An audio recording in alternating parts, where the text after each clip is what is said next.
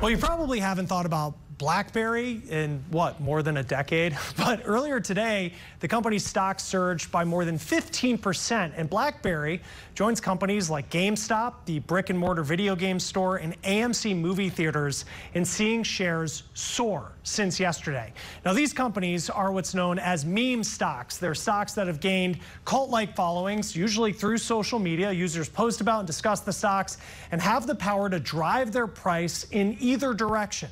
Now, each of these stocks finished the day way up. BlackBerry ended trading up more than 11%, AMC finishing the day up 32%, and GameStop ended trading just under $50 per share. That's up more than 60%. So, what is behind the surge? Well, yesterday, the online user known as Roaring Kitty posted this. It's a meme of a man leaning forward in his chair, and that is all it took to send these stocks soaring. Now, this was his first post on X, the platform formerly known as Twitter, in three years, and he's the same person who led GameStop's stock to boost in 2021. Yo, what up, everybody? Roaring Kitty here. I'm gonna pick a stock and talk about why I think it's interesting, and that stock is GameStop. So the whole GameStop craze, that was actually turned into a movie. It's called Dumb Money. It was released last year with Paul Dano portraying Roaring Kitty. The real name of Roaring Kitty is Keith Gill. Melissa Armo is with us now. She is the CEO and founder of the Stock Swoosh.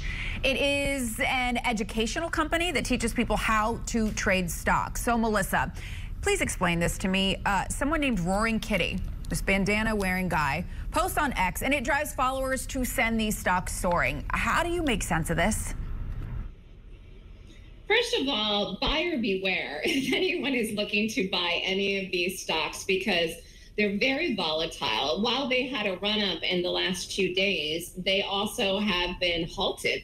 So the stock today, I think, was halted more than nine times. Same thing yesterday. So what does that mean? You could be in a position in the stock and the exchange halts, halts it and then it opens at a completely different price. And sometimes you could be up in a trade and you're down in a trade, or vice versa.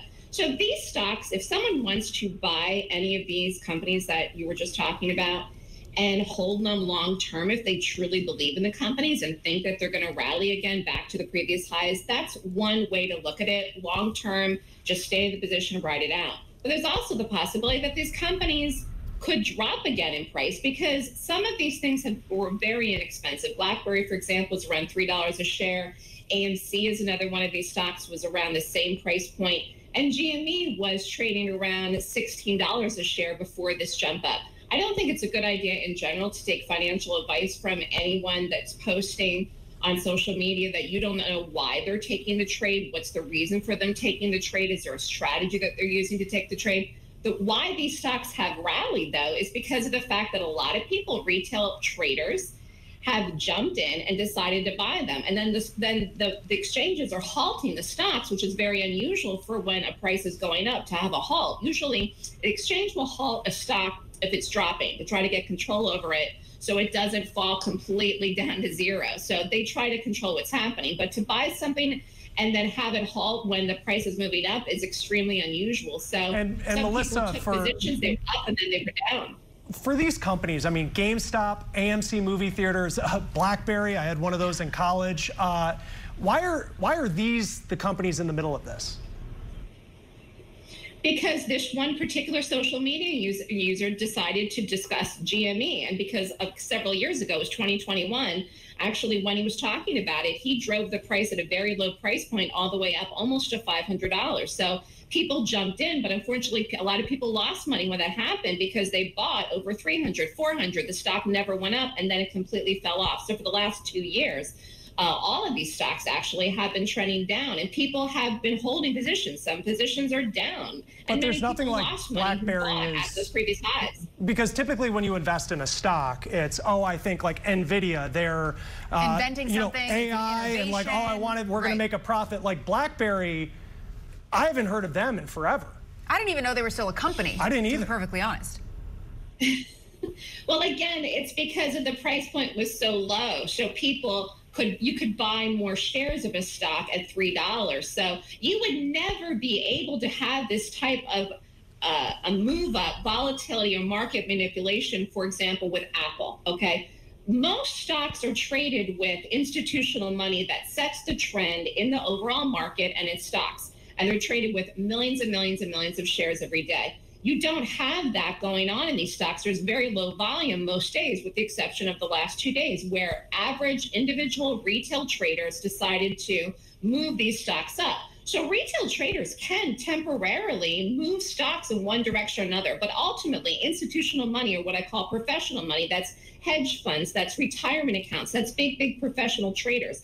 They are the ones that set the tone in stocks and drive stock prices up and control them. They're not buying these stocks. And if they are, they're buying them probably to dump them and tank them. And that's what happened. Even though the, the all the stocks that you just discussed right now were up this morning in the close. They all sold off since their previous high this morning when they opened, and they were halted several times. So some people are shorting these stocks, to be honest, but they're just they're very dangerous to trade for anyone right now because it could happen. And I'm not saying this is going to happen, but it could happen. You could actually be in a position in a stock and it could be halted and it could never reopen. And then you lose all your money. That could happen. It's happened before with other stocks and that's why i said buyer beware because when you trade the stock market like this and wild volatile stocks with people that you're following on social media and you don't know why they're taking them and the companies don't have the same panache like you were talking about reasoning to invest in them long term where they're creating products or services that we use you're trading it for the win and the hope of a prayer that you could make a lot of money, which some people did two years ago,